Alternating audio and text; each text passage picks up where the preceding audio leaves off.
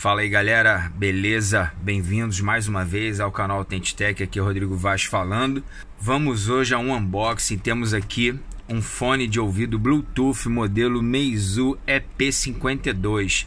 Link do produto aí na descrição do vídeo, logo aqui embaixo. Todos os links também, vocês já sabem, minhas redes sociais todas, Facebook, grupo de cupons do WhatsApp, grupo de ajuda do WhatsApp, grupo de cupons no Telegram, Instagram, Twitter, tudo aí para vocês, e-mail, todos os meus contatos aí, tá?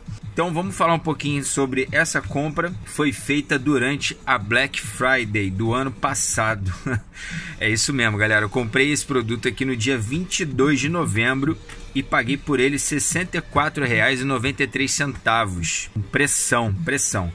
E com frete e seguro saiu a R$ 76,95 foi enviado para mim o frete Post NL, que é o conhecido Holanda. Eu sem querer acabei riscando aqui o código. Eu vou colocar para vocês na descrição do vídeo o código de rastreamento, caso vocês queiram verificar a veracidade do que eu estou falando aqui. Então paguei R$ 76,95.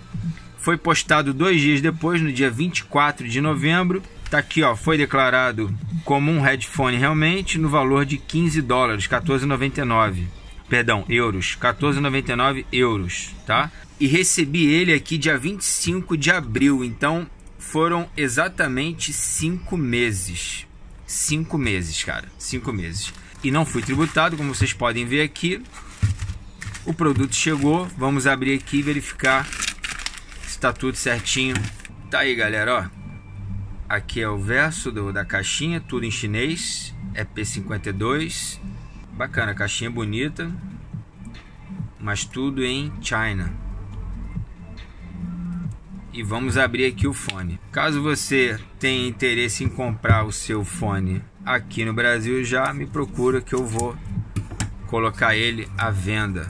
Faça contato comigo aí nas redes sociais ou e-mail, WhatsApp, por onde você quiser. Não tem desculpa para dizer que não me não me achou, não me localizou. E vamos tirar aqui a caixinha. Aí ó, Meizu Sport Bluetooth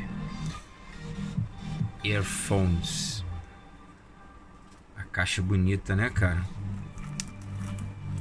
Ó, deixa eu botar esse aqui de lado. Showzaço fone, hein? Vou tirar ele aqui para poder mostrar para vocês. Depois eu coloco ele de volta. Então, ó, tá aqui para vocês verem. Aqui esse, essa parte ela é mais rígida um pouco, né? para você colocar na, na nuca. Aqui ele tem esse controle de volume, tem um botão aqui também para atender chamadas. Aqui para você poder carregar ele, abertura aqui. Nessa caixinha temos manual e as borrachinhas sobressalentes. Manual também todo em chinês, tá? Primeiros passos. Ilustrativo também dá para você entender melhor. Aqui as borrachinhas para você trocar o tamanho delas, né? de acordo com o tamanho do seu ouvido. E aqui temos uma case de transporte para você guardar o fone. Portal, olha que maneiro, cara. Ela tem um imãzinho aqui dentro, ó. E aqui o cabo carregador no padrão micro USB. Bonito também. Aqui você enrola ele, guarda aqui dentro e transporta nessa casezinha de borracha com a logo aqui da Meizu. Não sei se vocês conseguem enxergar aí. Deixa eu tentar dar um foco. Aí melhor assim, né? A case da Meizu bonita também. Uma borracha aqui bem resistente, tipo um neoprene, mas bem grosso, bem bem bem forte mesmo. E aqui aqui tá escrito aquela frase que veio também no EP51, For the Lovely Ones. Maneiro, maneiro, show de bola.